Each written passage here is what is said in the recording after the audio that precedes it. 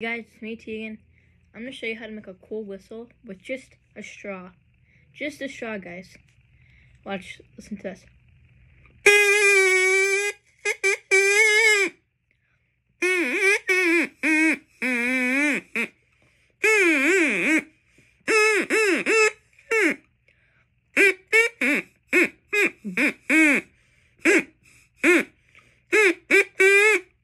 Okay, so all you really need, you might need parents' help with this, but all you need is a straw.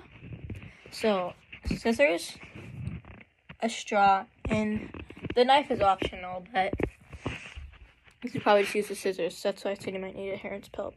Parents' help because I don't need you guys getting hurt. So, first step, get your straw.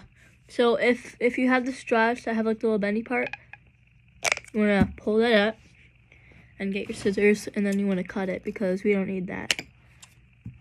And you can just throw it away. Just get this part, a bendy part right there. Just throw it away. So then you want to get your scissors, flip it over to the side you didn't cut because uh uh because it might not be straight. So then you want to cut it like that. All right. Okay. Like that. So then there's that. I'm going to flip it the other way. And then do it like that. You might need to adjust it a little bit.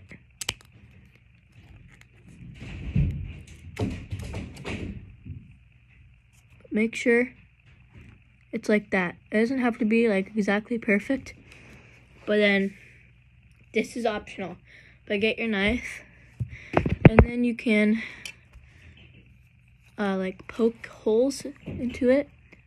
And you can play it like you can put holes in it if you want. And see might not be able to see this on camera but there are holes and you can like do like this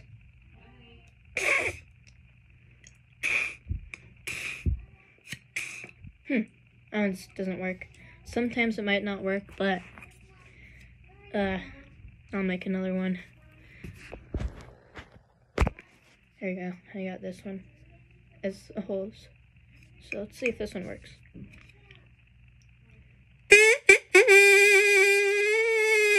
There you go. So that's your tutorial on how to make one of them. Bye, guys. See you later.